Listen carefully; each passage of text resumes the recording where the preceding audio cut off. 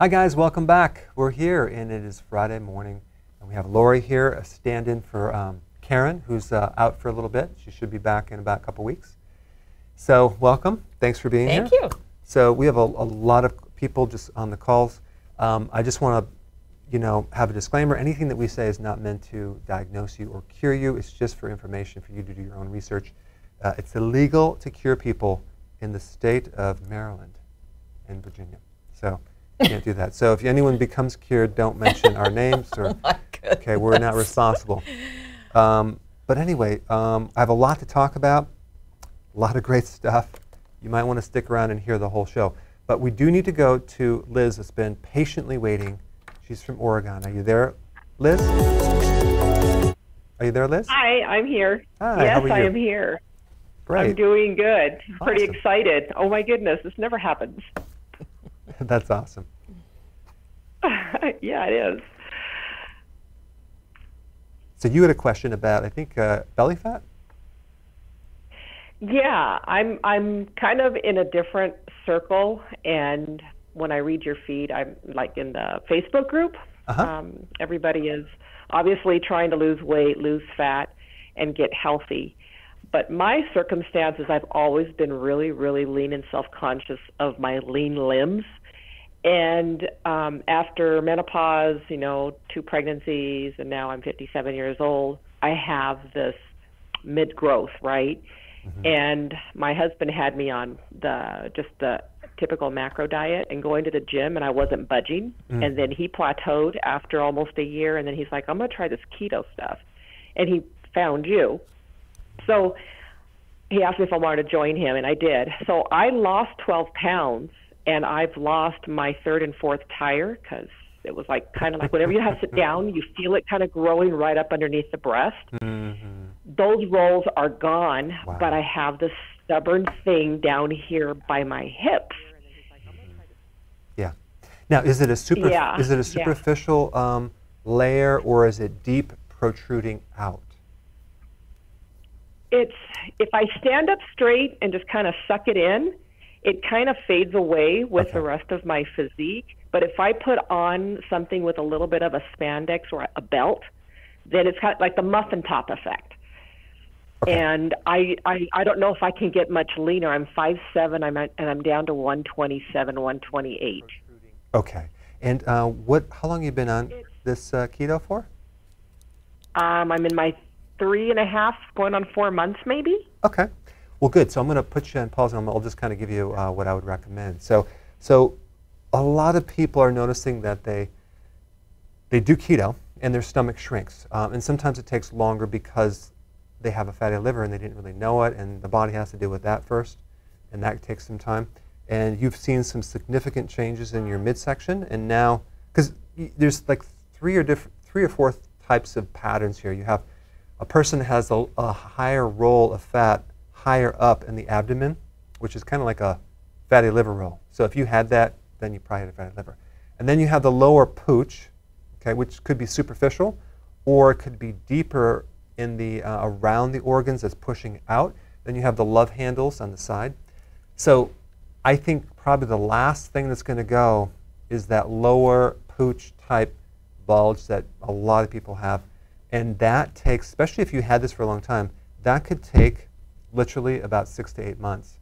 Um, the key, if you want to speed it up, is to do, do a little bit stricter um, intermittent fasting. But let's say, for example, you really don't want to lose any more weight because your other parts of your body are thin, then you're just going to have to keep your calories a little bit higher. Keep your calories higher, keep your fat a little bit higher, but do that one meal a day. Um, and then add in exercise too. I think that over time, Liz is going to handle that stomach to the point where it's completely flat. I would also, one last thing, work out in your fasting time frame. That will just give you some, some edge on that and make sure you have enough sleep. All right, thanks, Liz. Okay, Rick, hi, how are you? You're from Arizona. Are you there? Here, yeah. Hey, Rick. I, I, hi, I've been on keto for about five weeks. I've lost 20 pounds, dropped my blood pressure about uh, 35 points now from the high of 80 down to 40. Wow. And um, I'm using, um, yeah, I've had a lot of good success here very quickly. I'm on a, a one meal a day, So I'm fasting for about 23 to 22 hours a day. So I'm taking your Serifocus and your yeast. I'm taking omega 3. I'm taking the greens powder Mhm. and the electrolyte and the trace minerals. And I'm also doing the apple cider vinegar and um, I'm adding lemon to that, and then I'll have a green tea during the day. How should I spread all this stuff out, and am I taking too much at once? I think in the beginning, um, Rick, I think it's it's totally fine. As you get going, there's some certain ones that I think you maybe can take as a maintenance, but right now I think it's fine. I, honestly, I would take. You can take these on an empty stomach. You can take them in the morning. Um, when you're on keto and you're especially doing one meal a day, you're fasting for a good amount of time. Um, your uric acid will go up, but that's going to act as an antioxidant. Um, if there's any chance that you're susceptible to a stone, then you just need to keep your fluid higher as well on this program. And I'm talking about 2.5 liters of, of liquids a day just to kind of keep your kidneys from saturating things too much. Um, and then what you do, and you're taking enough minerals to um, handle that as well, and you're also using your pH. You're actually you're bringing your pH down with the electrolytes. But what the reason I'm bringing that up is that um, you could take it on an empty stomach and you don't have to worry about it. Um, you could also add the, the vitamin D and the omega-3 fatty acids. Anything that deals with oils, take that at your, your first meal, which is I don't know what time you're doing that. Um, and then, so I think your volume thing is all right. Might be over here or something. Yeah. Um, so that's what I would do, Rick. And then um, it's like a, lot of people going into this are deficient. So you're, you're beefing up, no pun intended, your nutrients. And that's one of the things, as, as you do, and one, one of the things I'm going to talk about today is that when you do keto, your body requires certain nutrients at a higher level. And so this is why people have, uh, they, they may be magnified as far as deficiencies, and they might show up, get a little symptom here, symptom there. So you're, you're, you're flooding your body with a lot of good nutrients. I think I would ride the wave, especially if it's working, you know, and then you could drop it down over time. Thanks, Rick, and I'm glad that you're doing very well. Um, Lori, what do we, what do we, what's going on in social media? Do we, Oh my gosh, we have s- people from all over the place today.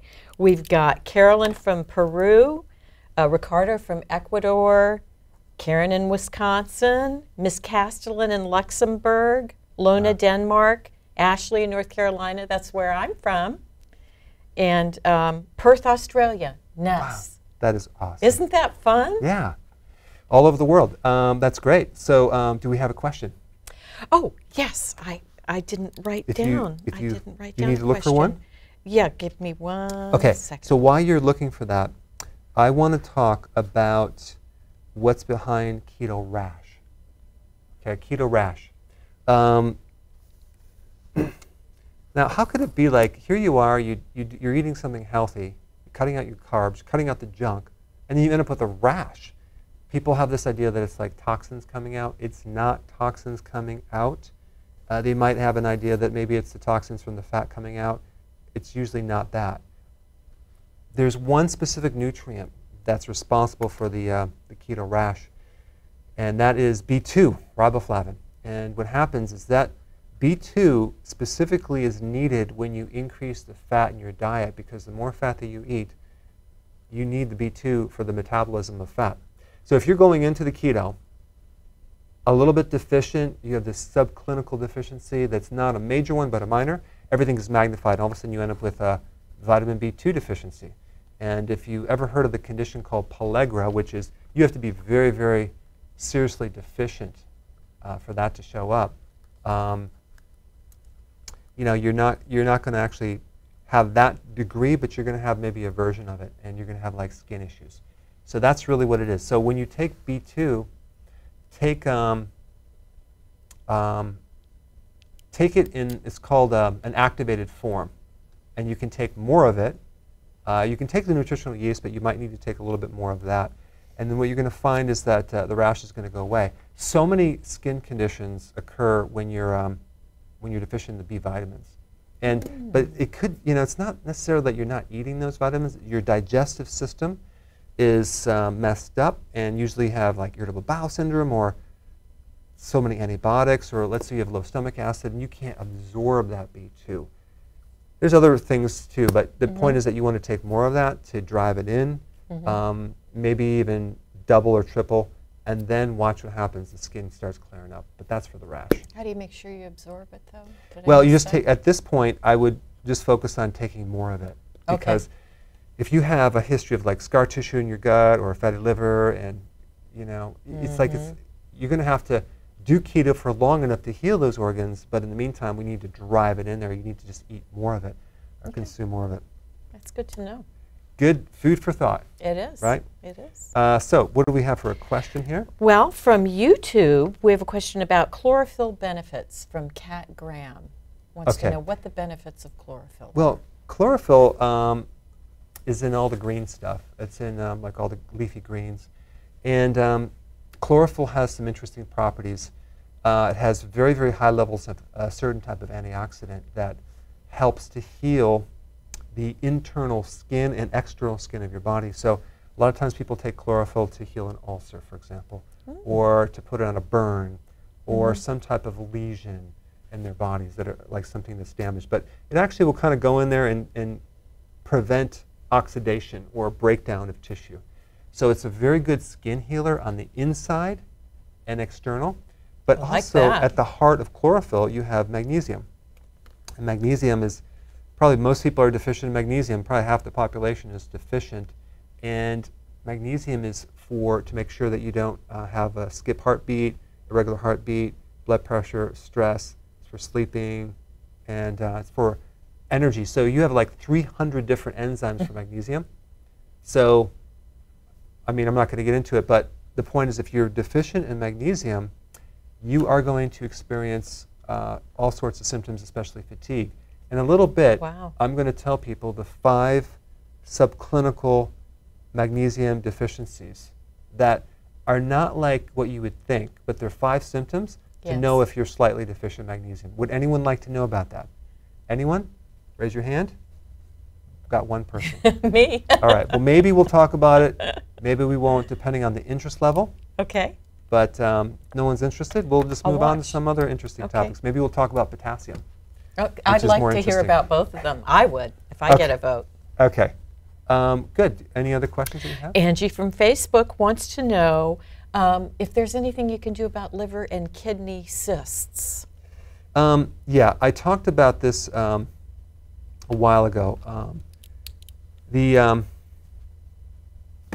what happens when you're when you have cysts on the kidney or the liver, you can. Um, it's usually your body's trying to encapsulate something, and it's trying to uh, support, uh, like like prevent some toxins from spreading in the body. But there's some other causes of cysts too, especially if you've heard, you ever heard of like a Baker cyst in the back of your knee, or a cyst in the body, or a cyst in the eye, uh, sty. It could be viral related, but I find it's related to high levels of insulin. Oh, which is caused by. Sugar, carbohydrates. So when you actually cut down the carbs, those cysts tend to go bye bye. Um, it's just like one for Mm. one. So it's it's definitely definitely a situation. Good. Any other questions that you have? Um, I have a question about an irritated gallbladder and what to do for that. Yeah, um, the gallbladder is um, on the lower right, underneath the rib, rib cage. It's this. It's there to store the bile, and it helps to um, release the bile at a certain quantity to start absorbing all these nutrients. So if you don't have enough bile because the liver is damaged or you don't have a gallbladder, then you get this incomplete digestion of fat soluble vitamins like vitamin A, D, E, and K. Mm-hmm. But there's certain foods that really irritate the bile, especially the ducts, and that would be like the little tubes around where it comes out. And that's really nuts. That's like the big one. Of course, the, the obvious one would be like taking like, refined carbs and sugar. And also, if, if you eat a, just a ton of fat, because you might not have the capacity to digest that and it kind of backs up. Mm-hmm. But mainly for most people, it's the nuts. They're doing too many nuts and it's irritating the gallbladder. So this is why. Oh, okay. Yeah. So this is why I always recommend uh, be careful of the nuts. Don't go crazy, especially in the beginning. Go, you know, just a small amount. And then also intermittent fasting gives that gallbladder a chance to heal and reset so you're not overloading that thing. But I had a gallbladder problem for probably 12 years before I knew what it was. And it refers pain to the right shoulder blade, right through here, up into the neck, the back right here. And you have this like, what is going off my right shoulder? You might feel bloated, burping, belching, even r- into the right head, uh, like the skull, even as headaches. And then you're like, wow, what's, you're thinking that you need to go to the chiropractor, but it's really coming from your gallbladder, it's referring from a nerve. So if one way to know if you have that problem, you just massage the gallbladder underneath your right rib cage and see if your pain goes away. Because when you step on a dog's tail, he barks through his mouth, right? That's so That's a um, perfect it's, example. it's kind of more of a sci- scientific Yeah. By the way. Dr. Berg, we should announce that we're now live on Periscope. We have word from the field that is successful. Okay, good. So we any got Periscope in the house. That's so right, if you're on Periscope in the- Periscope, welcome. We'll have to figure out how to get questions from Periscope. we will. Maybe And we'll have Harry to- announced, Yes. our producer, he's listening from Florida on Periscope. He said it's a neat app because you can listen to the audio even if you have the video off. So kind of a radio style I uh, like that. listening. So we'll we'll inform the uh, viewers and listeners more about Periscope as we go. But right now, if you're a lover of Periscope, go for it. Good. Um, one last thing about the gallbladder. Um, what helps the gallbladder is to take some purified bile salts to help help increase the digestion of fats. But the other thing is just just get on keto. Maybe be careful of your fats. Don't go too crazy, like too fast. Just gradually going in there, go in there, and then also do intermittent fasting. That should actually help you. There's a great video uh, you can search with Dr. Berg. Search Dr. Berg and then gallbladder flush. I have a video on how to manually massage the gallbladder to give people relief. It's something that I used a lot, but I mean, when's the last time you ever, ever had your gallbladder worked on, massaged? Never. I mean, have you ever been bloated before after eating? Always. Right. So you're going along, feeling bloated, but that everything's just kind of congested. So when people find out how to do that, they're like, "Oh my gosh, that gave me a lot of relief because I just kind of took a congested organ and gave it some space and some drainage." But Do you have a video on that? yeah, it's called gallbladder flushing. It's a simple Okay. thing, gives people a lot of relief, and um, I mean, I used to do it a lot because uh, I had a gallbladder problem. So anyway, um, let's move on to the next caller, Sanjay from Maryland. Are you there? I'm here, Dr. Berg. Hi. What was your question? Hi, Uh, good morning first, and good, Good morning, morning. Lori. Uh, Good morning. Uh, so, uh, with your help and uh, with uh, with your learning from your videos, I have already uh, put my diabetes into remission. But uh, this question is about my lower back pain, which I have for like last 30 years. And uh, in one of your videos earlier, I, I found that it could be it's it's on the right hand side in the SI joint area. That's where it starts, and it goes to the uh, used to used to go to the right hand uh, right hand leg, sorry right leg, and it um, uh, after starting keto like a year and a half ago, uh, I have resolved it by like 80 percent Mm-hmm. but it's still there and it increases when I sit, right? And it's more uh, when I'm like uh, lying on the bed for a longer time, like in the morning, it's there, and also at night. Okay. So what I did was when I learned that it could be related to ileocecal valve uh, being blocked, so I started massaging it, and as soon as I press on that area or massage it, the pain disappears Okay. but then it comes back. Okay. So, uh, what can you tell me or help me? Uh, here's what I would uh, do if I were you. In the nutrition, yeah, Yeah. Go, go ahead. So here's what I would do. Um, first of all, I would always love, always, always, you know, if you have back pain of any sort, even if it's the SI joint, sacroiliac joint, uh, vitamin D is what I'm thinking of, and you need at least 20,000 IUs to, to see some change with the K2. I have tons of videos on that. The other thing is you could, if you wherever the pain is in your back, you can press on the front. Do the opposite. So if it's slightly to the right, SI joint, you go to the front and you start massaging that. If your problem is in the um, ileocecal valve, then what that usually means is you probably need to um, make sure that you're doing a little bit more hardcore intermittent fasting uh, to allow the transit time to, to food to go through uh, so it's not like crammed down there too much. And then other thing is um, the purified bile salts will help to lubricate that valve. And it also could be an adrenal issue, uh, which could be helped with the vitamin D uh, because the adrenal controls the valves. Uh, it's called the sympathetic nervous system. So that's what I would do if I were you. Um, and then one last point I wanted to clarify because I actually said something that confused uh, a person. Uh, pellagra is actually a B3 deficiency. I might have said B2.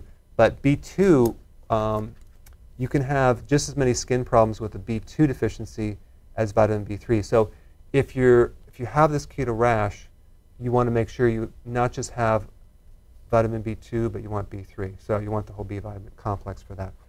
So anyway, uh, got that cleared up. And then we need to talk to Ruth. She's been waiting patiently from Texas. How are you, Ruth? Oh, I'm doing good. My Good. pleasure to wait. Thanks. Talk to you for a few minutes. Um, I just wanted to ask you about, uh, well, a little bit about me is uh, I've been on keto for about three years. Went from 250 pounds to 130. Um, Wow. I'm 5'4", 51 years old, and I've called before about uh, hot flashes and other things like that, and all of that seems to have slowly resolved itself. But um, what I've noticed now is I love riding my bike. So I normally ride my bike, oh, I don't know, about 14 miles um, every other day, maybe. Mm-hmm. Um, but on the occasions that I've ridden it longer, maybe I'm just having a lot of fun or um, I'm enjoying myself. Um, I think 17 and 20 miles is as much as I've gone. But on those occasions, that evening, I get what feels like flu symptoms where my whole body aches and I feel fevered, like Okay. I have a low grade temperature. And I end up having to stay in bed for about three days afterwards, like I'm just wiped out. So I'd like to know why that happens, how can I prevent it, and how can I speed it along to recovery when it does happen, if you know Very it continues to happen. Because I definitely don't want to leave my bicycle. Yeah, that's a very interesting question. So, um, what happens when you exercise and you get sick, or you actually feel like you have the flu, or your immune system is activated? It, it's really just a matter of um, we have to cut back the exercise, unfortunately, because you're not recovering. The exercise is a, is a positive stress, um, but you can overdo it, and if your recovery is low for any reason, and you add too much stress from exercise, it breaks down and stresses out a little too much, it overwhelms the immune system, and that's what you're, what you're running into. So um, I know you mentioned this before, and uh, you, you want to cut back, cut back this workout to the point where it's, um, you got to do it more gradual. Um, for whatever reason, it's taking a lot longer than it should. Um, I don't know if you've noticed uh, when you get older, um, like I'm 54, and um, people don't recover as fast, do they? No. Like, what's up with that? It takes longer to see change with exercise. Have you noticed that? When I turn 50, it's Like, what's up? That really ticks me off. and it progresses. I'm telling you, like, you, you work out and you're like, wait a second. How come it takes so long to see changes in body tissue? It's like, I when, when you're 18, you just do one workout and it's like You're down 10 pounds. I know, I know. It's not fair. So the same thing with your immune system. When you're um, when you're working out, your recovery might might need some more help. So you can overdo it and you get sick. The other thing you can do to counter that, um, and you might already be doing this, Ruth, is to take a, a bit more vitamin D3, uh, just because vitamin D3 is very good for the immune system. It's an immune modulator. Uh, so try that, Ruth, and then just cut back the exercise until you can do it. And make sure you do not too many steep hills as, as well. All right, so um, we have a summit coming up. Yes, I was just about to ask you about that. Well, what a coincidence, because I actually I had this little sign ask me for yeah. Now the summit is coming up, and um, I'm really excited about it because it's going to be too. at the end of the summer. It's August uh, 31st. We have a lot of people that are watching coming. If you don't know anything about it, go to the website, check it out. We have all these speakers, and um, we have some really cool sponsors coming this, this year. We have Keto Mojo. They do all the testing with the, um, the uh, blood testing, and you can measure your ketones and blood sugars. They have a unit that checks both. So they'll be doing that there? They're going to be doing it there, but it's, um, it's very valuable to know like how deep you're in ketosis and what's going on and what foods interfere with that. U.S. Wellness Meats are going to be there. They came last year. I pretty much buy a lot of my meats from them. I mean, it's so good. Their butter, their bacon, their beef is just like over the top. Uh, Yep. Bragg's will be there. You ever have like apple cider vinegar? Bragg's. No. Um, yeah, they they basically have the apple cider vinegar with the mother. It's like this little sediment. It's really high quality uh, product. Keto Baking Company. Um, they have these. Uh, that's like a granola. It's pretty good with almond milk. Uh, also, Choco Perfection, which is a really high quality chocolate. Sometimes when you get this chocolate that's so-called keto friendly, it gives you gas and bloating. Uh, this one does not. Um, Kabosh Foods is going to be there. They have some interesting new products. I've never um, talked to them personally, but um, they're going to be new. They're going to show up. And also another company called Love Good Fats, which Mm. things are shifting. Fats are now good. Um, you know, before they were bad, but now it's it's you know after about what 50 years of experimentation, we finally determined that fats are okay for you. Thank goodness. I know. Because I love them. I know, I know. Just leave it up to the government. That's Um, so anyway, if if you guys um, haven't come, you should come. It would be great to meet all of you. yes. Um, but let's go to Derek. Derek's he's a regular caller from Queens. Derek, how you doing? I'm great, Dr. Berg. Hope you had a great Father's Day. And again, I am looking forward to that Keto Summit because it is on my birthday, August 31st. So Oh my gosh, doesn't get any better than that. that's awesome. Yeah. So, Dr. Berg, um, not going to talk about myself today. Um, my mom has been suffering for, for from just severe migraines, and you know, I like to think of myself as one of your proudest students. I know about the whole phrenic nerve and how um, majority of any type of form of headaches is usually a gallbladder issue consisting of the phrenic nerve running along all the way up to the neck and head region but um, I just don't think this is the the problem with her.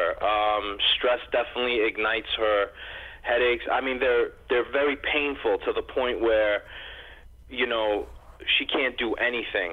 Uh, Okay. It's like level twenty. And then um, the other thing I wanted to talk about, I have a I have a young girl cousin. She suffers from a rare condition. It's called em- Emery Dreifuss muscular dystrophy which um, which is now affecting her her heart in many ways. Uh, she's starting to get some prolapse symptoms, some um, palpitations, and you name it. So that I have no inclination on, Okay. but uh, and that's uh, that's all I got for today. All right. Well, uh, Derek, your your mom. So severe migraines. Of course, I'm assuming she's on keto and intermittent fasting. That usually handles a lot. Uh, if she's, and if she is and it's still there, you know, you always check the gallbladder. There's a little nerve that goes up to the head, and it's, if, especially if it's on the right side. If you work on that area, you'll see improvement. But there's a, there's a couple other things you can look at uh, for severe migraines. One is vitamin B2, riboflavin again. Keep coming back to that and taking um, higher amounts. Sometimes uh, 10 milligrams per kilogram of weight. So you, you can't really overdo vitamin B2. So that's one thing. The other thing is to check, do an evaluation for um, um, certain chemicals in foods, salicylates, uh, lectins in foods that could be causing that. You can do some uh, testing on that. And if that's the cause, you have to change your diet, and all of a sudden you're going to find that your headaches might go bye bye. As far as the hand goes, um, I don't have a lot of data on that disorder, but I will, I will say I would probably look into the area of high quality vitamin E for anything related to muscles and nerve problems because vitamin E is essential for that. If you're deficient in vitamin E or you can't absorb it for some reason or even genetic reason, the muscular neural junction will be affected, muscles or nerves or the junction. And so that's what I would do is a high quality vitamin E. Okay? Thanks, Derek. All right, so did we get any answers? Like, do people want to know more about this five? I'm sorry. Yeah, Magnesium. Magnesium, Like crazy, they want to know about magnesium. Okay. Yeah. All right. So magnesium deficiencies, um, it's hard to detect them because they're, most of the magnesium is inside the cell. Only 1% is in the blood Mm-hmm. and then in the bone. So you get like, where are you going to test it, right? So here are the symptoms. I mean, the number one is stiffness in the morning when you wake up. Okay, so you wake up, you feel stiff. Number two, high blood pressure, because the arteries get stiff. Everything gets stiff with magnesium. Is kind of like it makes everything kind of soft and elastic, and you feel relaxed. Uh, number three is fatigue. Um, your energy called um, called ATP in the mitochondria, the energy factory, needs magnesium to make energy. So, there, you know, here's what happens. Let's say, for example, you have a certain amount of magnesium that you need, but you don't have all of it. The body will designate based on the priority system. You'll, it'll go for like the quick fixes, like immediate survival, and all the long-term repair and maybe longevity genes uh-huh. won't get the magnesium. Okay. So you probably won't live as long because you're low in magnesium, but you'll be able to get by with some of the you know essential things like you know that, that you might need. Breathing and Yeah, breathing and walking. comes in handy. Right, but you're tired. yeah. And you got cramps? you're stiff and cramps in your calves. Because if I'm not taking it, Boom. And then the last one is irregular heartbeats. So a heart mm. skips, palpitation. That's magnesium. and so many So- people have, seem to have that now, don't they? Well, that that brings us to another topic that we'll talk about in a little bit of why people have a magnesium deficiency. Okay? Okay. And uh, we'll cover that in a little bit. But I need to go to David. David, you're from San Jose, California. You are trying to get off Nexium, Yes. right? Yeah, um, I'm on Nexium twice a day, Yeah. and um, I, as prescribed, and famotidine twice a day. The, the last thing you Can said. you hear me okay? Yeah, now I can hear you. Famotidine? Is that? Okay, I'm sorry. Okay. You had Nexium, and then the yeah, other one. um, basically Pepcid AC okay. uh, twice a day, and Nexium twice a day. okay. Now, question, Dave. And what is the pain when I eat? Is that is that gas? the most pain? likely, because I can't break down my food probably. Yeah. Yeah. I'll, I'll tell you in a second. Do you do you um Okay. Have you watched my videos on acid reflux or GERD? Yeah. Okay. Have you tried adding uh, more acid to your stomach yet? Um, once in a while, I take a milliliter or two of um, uh, apple cider vinegar in water and drink it through a straw. Okay. So let me just kind of give you my, my opinion on this, Dave, and just realize I can't tell you not to take your medication, but these are, these are some topics to research. Um, when you have acid reflux and you're taking Nexium, which are they're antacid, and um, you're going to lower the acid. And what's going to happen is you need your stomach to be very, very strong as far as the acidity. You need that thing between be between like one and two, maybe three. That's like battery acid, and the stomach there will, will then we'll have the acid to break down the proteins to stimulate the enzymes to help you break down this protein. So if you don't have the acid, the food doesn't digest. So you're going to get incomplete digestion of protein, and you're going to feel pain in your stomach. And the valve has a sensor that is regulated by the, the pH. So the valve doesn't always close, and you get the reflux thing that comes up. And then eventually you get ulcers and things like that. Um, which cancer. you can get cancer. The problem is that if you have an ulcer, then you can't really add more acid in there because it's going to irritate the ulcer. So you have to heal it with something like some chlorophyll, something like that. And then eventually, when that's healed, add the, uh, the pH, the acid. Here's the thing that apple cider vinegar is okay, but you need betaine hydrochloride um, and sea salt on a regular basis. Um, but betaine hydrochloride, and you can also do apple cider vinegar pills at the same time. But I would take betaine hydrochloride and apple cider vinegar pills. I would take probably six or seven of those before each meal. I would do keto. I would do intermittent fasting, and I would do that for a period of time because if it's really bad, it could take some weeks to really correct that. But you're going to see by adding the acid in there, that's more of a correction because the antioxidants just keep you going. You feel better temporarily, and you keep needing Mm. them. So that is what you're up against, and um, without that acid, you get gas, you get all sorts of issues. Thanks, Dave. All right. Do we have any? Am I neglecting any questions? Well, you know, I, I've often wondered about this because of things you hear. Don from Facebook wants to know if there are certain spices that can help you lose weight. And I always, you know how you always hear hot foods. Yeah, like if you if you eat uh, like like cayenne pepper, the Mhm. heat will then burn off all the extra calories Right. and burn off all the fat because it's it's heat, and then we melt the fat, fat Right. as in fat burning, right? Makes sense. Yeah. Um, no, it's not going to create anything of any significance. What causes the weight gain and the weight loss is Mhm. really based on one thing. It's the level of interest in insulin you have in your body. If the insulin is low, then you can mobilize the fat. And when we talk about burning, um, yeah, we oxidize it, but there's no actual flame going on. It's no actual heat going on, Mhm. maybe a tiny bit, but it's it's really just being used as fuel in this machine in the mitochondria. And that machine uh, turns off when you have certain. Well, the, what happens is you won't be able to burn fat when you have too much insulin, and insulin comes with carbs. So the carbs basically shut down the ability to burn fat. So you're running Mhm. off your sugar, sugar fuel. So how does intermittent fasting play into that? Okay. What When you about do, that when you you stop eating, Uh-huh. um, your body then starts to mobilize your reserve fat. It's finally able to tap in there because the Oh. insulin goes down. And not be in that storage mode. Yeah. Okay. So we need to cut carbs and not eat so frequent, and now you can mobilize fat. But the problem is that most people have insulin resistance.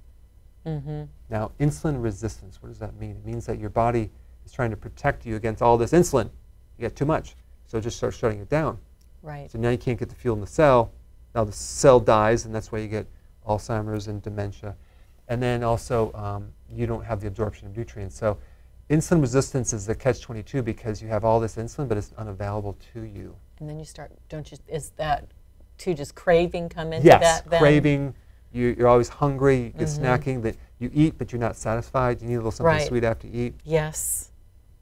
So um, what's really cool is if ketones bypass the whole problem.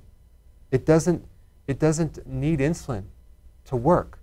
So Mm-hmm. you take ketones, you get the fuel right away. Insulin resistance can heal, Mm-hmm. and now you run your body on an alternative fuel, which actually is way cleaner, way better. You, even the Navy SEALs now are starting to do keto because you get, you don't generate as much CO2, so you have, you can hold your breath longer. There's less Oh, wow. stress. I mean, if you're new to this this uh, this concept of keto, Right. it's going to be it's going to get bigger and bigger with time because it's very Mhm. very powerful what it can do. I mean, if it was It's a fad, incredible. it would go away, but it's growing because it really works. Can you explain what ketones are? Ketones are a alternative fuel, and they're made from your fat. Mhm. Okay, so when you burn your fat in the liver, your body makes ketones, and you can run on that as a fuel source. So it's an alternative fuel, but it really it's actually our original fuel that we ran on. Mm. Glucose is just a kind of a recent thing. I mean, we it's because think about this. I mean, why does our body store an unlimited amount of fat? An average thin person has over close to 90 to 100,000 calories of stored fat on their body. Mhm. Okay, that's 100,000, but we only store 1,700 um, of, of stored sugar. So what does that mean? It means that our bodies were not designed to live off sugar. It was Right. designed to live off fat Right. and generate ketones. So ketones um, go way beyond, beyond just losing um, weight. They actually go on to, they repair your cognitive function. They help you, um, they're like an antioxidant. They actually lower your stress. So Mm. yeah. All right, so I need to um, answer a call, and then I'm going to go to another. I'm going to talk about this magnesium thing again. Spencer, you're there from California. You, you have a question? Yes, actually, I do have a question. Um, about a year ago, I began going through a whole bunch of digestive issues, and my blood pressure went through the roof. Um, so it took me a while to get my blood pressure stabilized, and um, I started doing keto, and my digestion has improved a lot. Um, I have candida, and it's been hard. Uh, you know, basically, I have a lot of cravings. I've noticed the apple cider vinegar helps a lot um, with my digestion, and I've been taking the nutritional yeast. But I was wondering if there's anything else you would suggest for me. Good question, Spencer. There's two things. One is that uh, candida cannot live on ketones. Oh. Uh, they, they only lives on sugar. So yeast and candida live on sugar. So the longer you do this, and the, and the lower you cut your carbs down, the, the faster it's going to go bye-bye. And that includes also doing intermittent fasting. If you want to speed it up, you can add garlic to your diet in higher amounts and oregano oil, essential oregano oil. I think it's called oregano essential oil. And you take that, and actually it'll kill off the candida, but you must cut the carbs way down. Good question. Thanks, Spencer. All right, so now, uh, Lori, Mhm. we're going to talk about magnesium, right? Yes. So magnesium is um, a very important mineral. And uh, I'm going to talk about the foods that will, de- why we're severely deficient. And this relates to a video I'm going to do today, which basically it's the top sources of calories that the U.S. um population lives on. Oh boy. Yeah, these are the calories starting from one all the way down. Okay? It'll be interesting to see which ones are a surprise. Right. I'm, I'm sure you're not going to be too surprised. but I would say every single one of these will deplete magnesium because it doesn't have magnesium in there, including potassium. Okay, we got the first one is the grain, grain-based desserts. You know, the cakes, the cookies, the donuts, right? Yeah. Those are, that's number one. Drat. Number two, breads. Breads, completely void of magnesium. Uh, three, chicken and chicken dishes.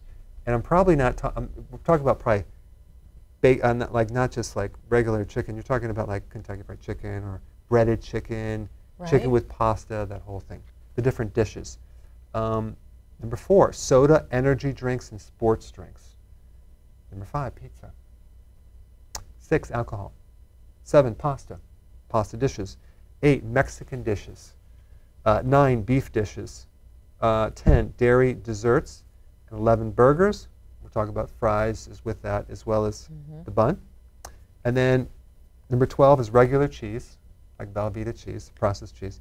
And 13 is potato, corn, or other types of chips. Now, isn't this so like what we are growing on? No I mean, like wonder I have to take magnesium. I don't see any magnesium on this list or potassium. So we're getting Yeah. we're getting. Um, I mean, this is what what I lived on growing Oh, up. I yeah. mean, we all did, and, uh, and we thought we were doing great. we had no concerns until you know a certain time period. But yeah, I don't see I don't see broccoli on there anywhere. I'm trying to find broccoli. I don't, I don't see kale. I don't see um, avocados. Okay, so what we're getting with this is a massive amount of sodium. Does With- avocado have magnesium? Yeah. Oh, good. We don't we don't have sodium. We have high sodium. We have low minerals. So what's going to happen to these people? Well, they're going to gain weight. They're going to actually have puffiness around the eyes, Mm-hmm. especially in the morning. They're going to have a hard time getting out of bed. They're going to be tired all the time. So magnesium comes from greens and um, salads, and we need we need more potassium and magnesium minerals. Um, so we're going to have a lot of oxidative damage in our arteries, inflammation, and also it's going to create a lot of hunger and craving. Other than that, I think we're going to be fine. And heart, then does that contribute to heart attacks? Because I'm hearing about a lot of heart attacks lately with Yeah, heart attacks. people that are getting into their 50s and 60s. You, you have a couple things. You have the mineral deficiencies, which create all the arrhythmias and the atrial fib and all Mhm. that. But then you have the heart artery itself that develops plaquing and clot from high levels of insulin because there's damage that body's trying to heal it. So you get that. And then you Mhm. have the heart muscle itself. Um, you have like low vitamin E um, and just high insulin, and then you get a cramp in the heart, and that's a heart attack. Oh, So you can actually have a heart attack just from a cramp from low vitamin E, which comes from refined grains. And then you also can have um, an actual clot that kind of goes into the, it could be in the heart, could be in the uh, different vessels in the brain and get a stroke.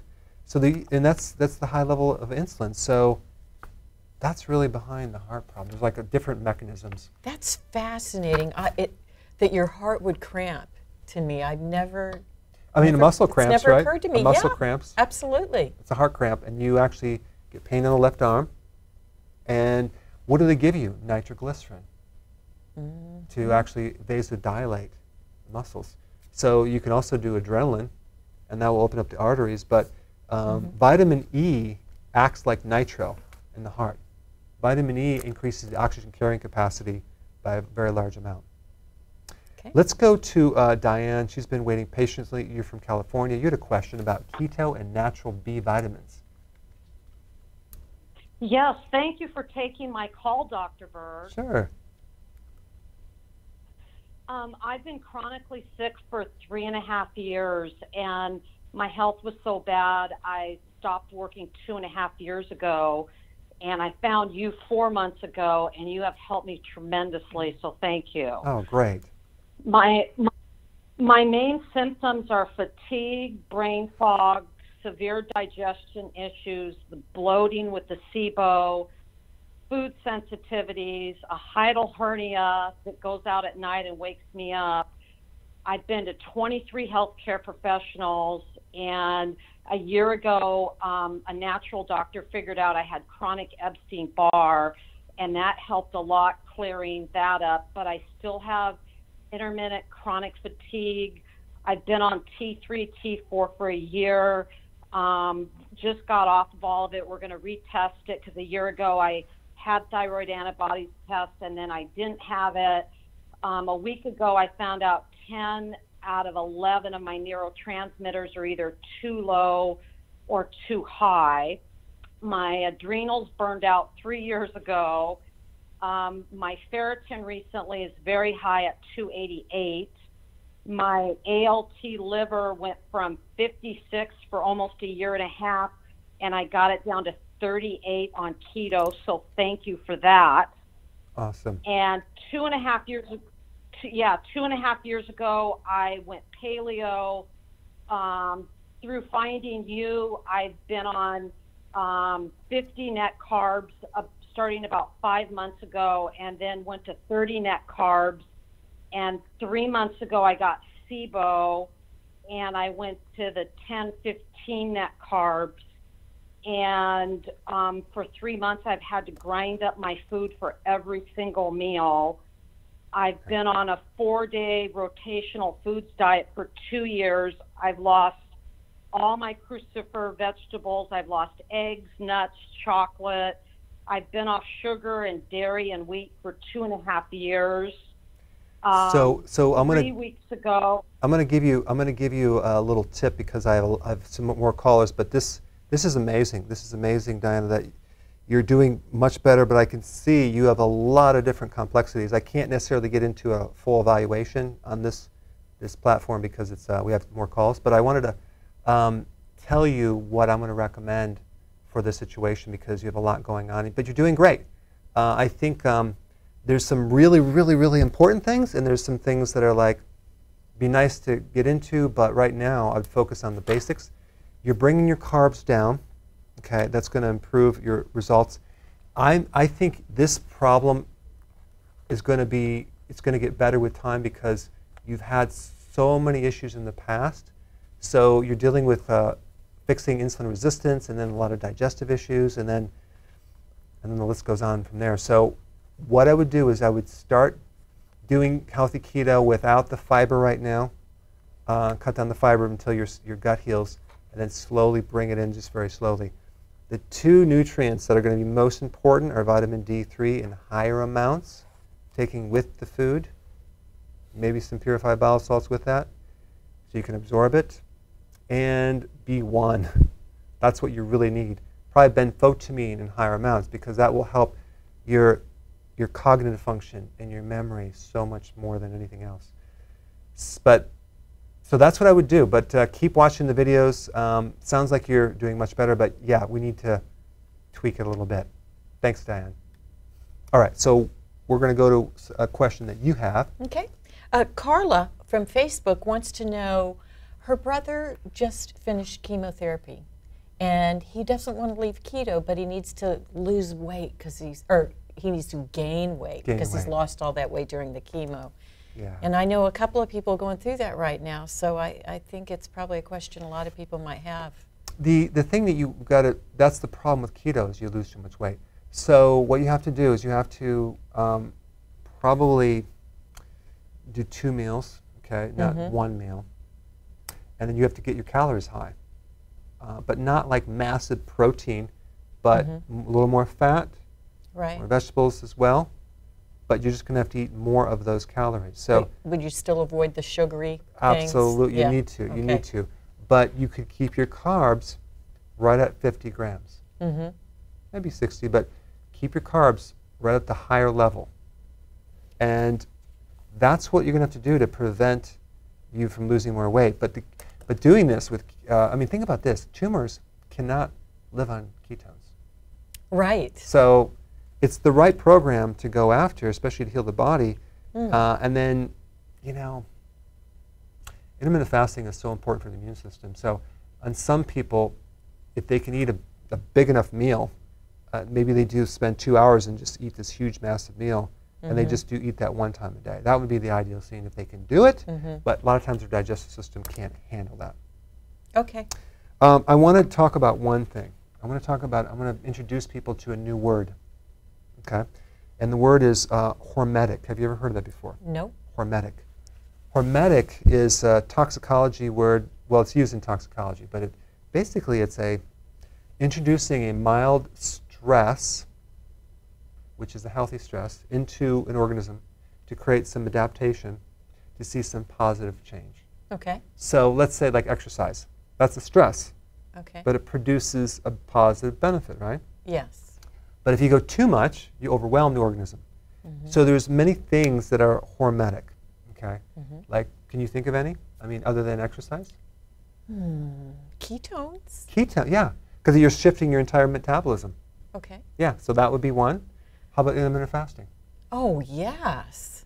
You're adding a stress, uh, a restrictive diet. That's like magic. It to me. really is bec- because of this. Fasting is be- incredible. Right, because of this principle of hormetic, like you're, you're, you're actually getting better with the stress. You can't get better without stress.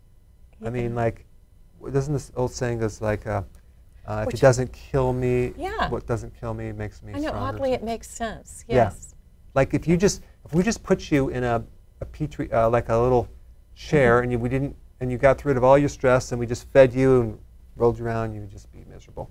So we need to go through. I think, I think people's problems is they just don't have enough stress. I think we just need maybe more stress. maybe it's the type of stresses. True, true. Yeah. Um, but stress does make us stronger. Um, also, you've heard about taking a cold shower in the morning. Yes. That is therapeutic. So you can start it is telling. because I hate it. I know it's painful, right? Yeah. So cold and hot, going a sauna back and forth, it creates this stress that uh, causes your body to adapt. Uh, You know, after you're done, there is that feeling. yeah, exactly. See? you go in the sauna. So, and then also, um, this might surprise you. Vegetables. Really? Yeah. the, there's certain phytonutrients and natural toxins in vegetables to Mhm. kill off bugs and things, pesticides. Oh, really? Yeah.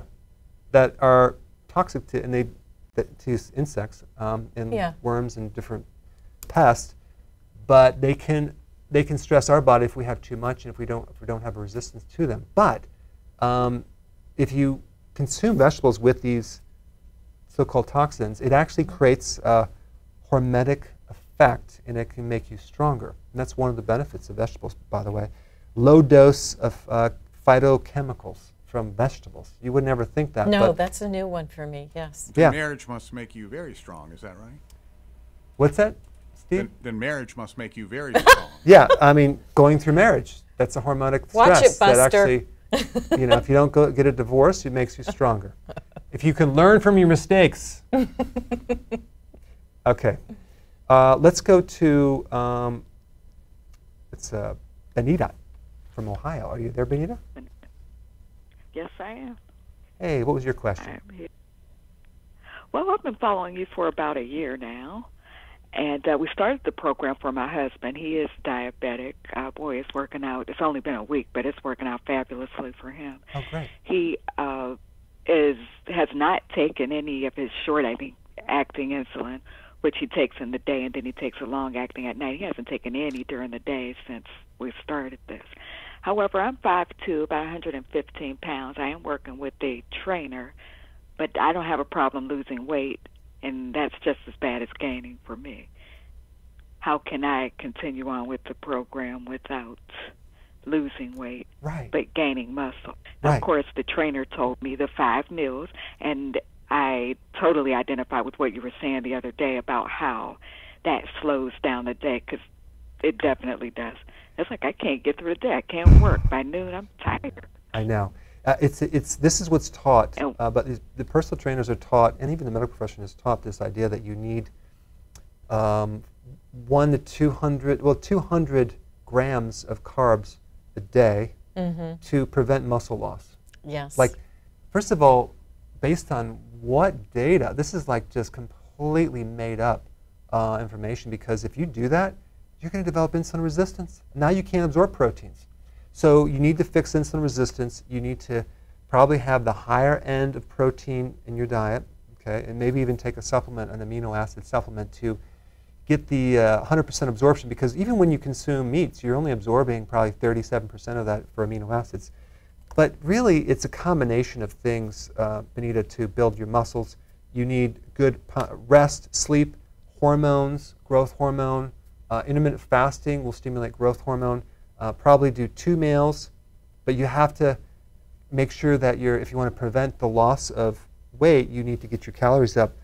But as far as to gain muscle, there's really the biggest thing is going to be heavier weights and workouts, exercise. You're going to have to do that to keep the muscle in, uh, growing because you're creating this hormetic effect to make it grow.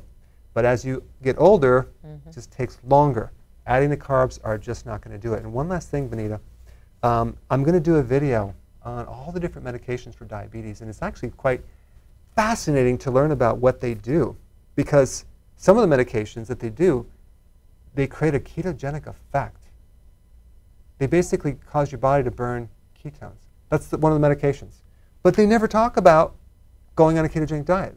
Mhm. They say don't do that, but take the medication, it'll put you in keto- ketosis. So uh, that's for another video. That's timely. There are so many people with diabetes. I know. Half, more than 60% of the population. Wow. Um, Estella, are you there from California? Yes, I'm here. Hi. Hi. I have a couple of questions. I'm a 28 year old at 220 pounds. I've been doing keto and intermittent fasting for over a year. And this actually fixed my menstrual cycle, and I'm now pregnant. Wow, that's great. So, my question is um, I want to know if it's safe to do keto. I've actually watched some of your videos, but I wanted to see if you can give me any more tips because I don't want to have any complications. Right, Um, mainly, how many? Huh? right, I don't want to. I don't want to gain weight. Okay. So I want to stay on keto. right. Uh, how many net carbs per day? Is magnesium okay during pregnancy? How do I um, hei- heighten my fiber to help constipation? And um, is halloumi cheese okay? What kind of cheese? Halloumi cheese? I, I don't even know what cheese that is, but, but this it's, it's right in this little book right here. That's what you need to do. It, it, I go into the fiber, I go into the vegetables, but there's some p- important things that you need to know with this. Do you need to do keto when you're, um, when you're pregnant? 100%. I'm going to tell you why. Now, I probably wouldn't focus on intermittent fasting. Um, I would focus on keto. Why? Because keto is higher in fat. Healthy version of keto, like I talk about in the book, will provide the nutrients as well as cutting down insulin. A great uh, percentage of pregnant women get insulin resistance the last trimester, and a lot of them t- sometimes get um, gestational diabetes because it puts Mhm. more stress on the mother and it's sucking nutrients um, from the mother because it drives it to the baby. So if you go into this with some subclinical insulin resistance, you can end up with a pre-diabetic state. So that's why keto is so important because it optimizes the nutrient absorption for that child or that future child. And um, so, yes, do keto. Um, maybe keep your carbs um, at 50 grams, but no more. Make sure it's nutrient dense. One of the most important nutrients to take would be vitamin D if you're pregnant because it's very hard to get that, and the child needs vitamin D for the immune system. The other thing is uh, trace minerals. That's the, uh, another thing that's really hard to get. So, and then the B vitamins. That way you can grow this baby with really good teeth, bone structure, um, be a really robust, healthy baby. Um, if the mother is gets gestational diabetes, the risk for the child become, becoming a diabetic goes up by three times. So, like, you don't want to go there. You, don't, you want to do keto if you're pregnant. Uh, and also breastfeeding. You want to breastfeed as long as possible. I will be doing more videos on this. Um, and I think there was one last question she wanted to know, and I can't remember what it was. But anyway, that should be good for right now. I'll do more videos on that. Hey, Terry, you're from Minnesota. You had a question. Go ahead. Yes. Uh, thank you for taking the call. Sure. Um, I've been I've been doing your uh, keto and intermittent fasting. I do one meal a day. I've been doing this now for three months, and I just had my follow up of my A1C two weeks ago, and I dropped it from 6.1 to 5.5, and my doc said, whatever you're doing, keep it up. Um, he says he says he's never seen anybody drop their blood sugar as quick as I have. Um, I also tried to order that uh, other blood test that you talked about, um, HOMA. Yeah, Oma. HOMA IR. Yeah.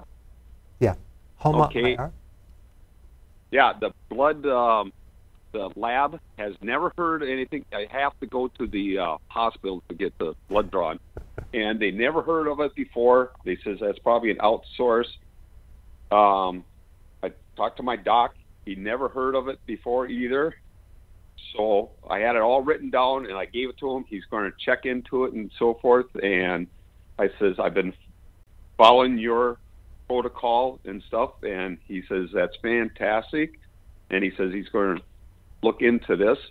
And of course, you know they got to follow their own rules and stuff too. So, um, but my question is, I, I notice I still take my blood sugar test, um, blood tests in the morning and then two hours after meals. But I notice in the morning my blood sugar numbers are slowly creeping upward. Mm-hmm. Um, I, um, you know, I'm still, I'm just barely under 100 in the morning now. Okay. I did do a four, I did do a 48 hour uh, fasting, and I dropped it all the way down to 74. I had no side effects or anything like that and stuff. I take your products. I take trace minerals, your B uh, natural uh, yeast, um, K was a K two uh, D 3 Um, you know, I taken all that stuff and it really helps your electrolytes. I tried, I thought up my potassium electrolytes, so I had been taking two servings, three, and it, it never changed my blood sugar numbers at all. And I added up all my food, and I'm getting approximately almost 4,700 milligrams per day. Perfect. Let me explain what's going on, Terry. Um, you're on the road to uh, being successful with this. Things have changed. You got some positive things. This is a common thing. Uh, it's called the dawn phenomena. And um, what happens, you wake up and the blood sugars are high. Why? Is it from something you ate the day before? No. Your body is making sugar. It's called gluconeogenesis. Your body's making the sugar from, um, could be from fat or protein that you ate yesterday. That's what's happening. Um, and it's, it's like it's around 100, slightly less. You know, this, um, all this means is you, you're still, um, it's going to take more time. I've had so many people go through this, and then you'll see in the coming months it also starts going down, down, down, down until it's like 80 or even 70.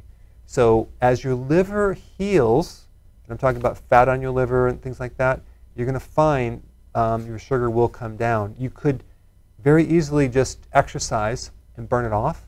It's, and it's like not a problem.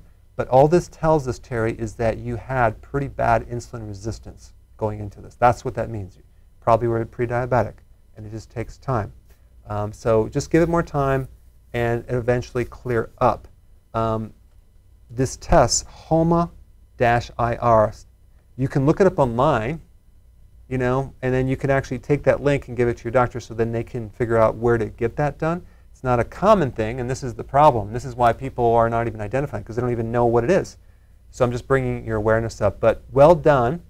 I would just say continue what you're doing, and uh, hopefully you can come out to the summit and learn more about this. There's a lot of people that have amazing results, and so my, my suggestion is if something worked, you want to strengthen that successful action. Come to the summit is going to give you so mm -hmm. much data on this, so much like new viewpoints from different uh, speakers. We have some of the top. I have two cardiologists coming that are keto friendly. So it's going to be hot. So come to learn um, a lot more, strengthen that. It's work for you. Keep getting more data, keep improving it. Guys, thank you so much for your wonderful questions. We will see you next week, same time, same place.